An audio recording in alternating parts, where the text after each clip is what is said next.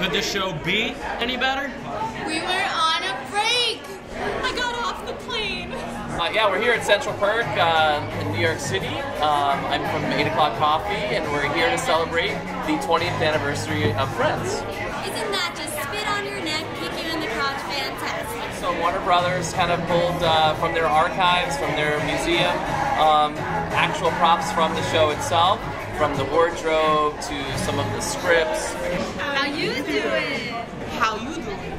You doing? I've seen all the episodes like a hundred times and I still laugh at all of them. I've watched every episode from right from the very beginning. Just as relevant now as it was um, back when I watched it growing up. My friends brought me out. I've actually never watched Friends in my life. Yeah, I was a big Martin guy in the 90s, but free coffee, real couches here, pictures.